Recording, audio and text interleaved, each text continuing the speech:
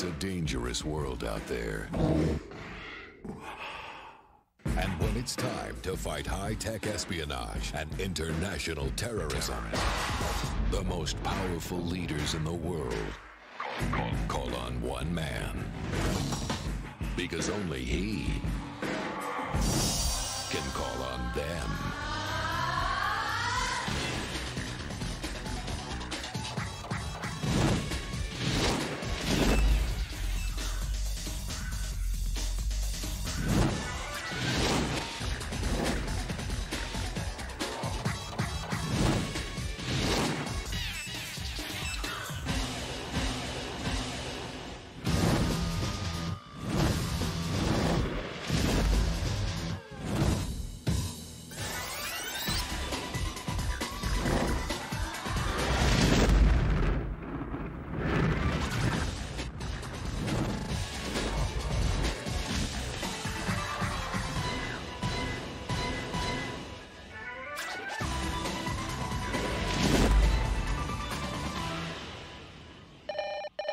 Good morning, angels.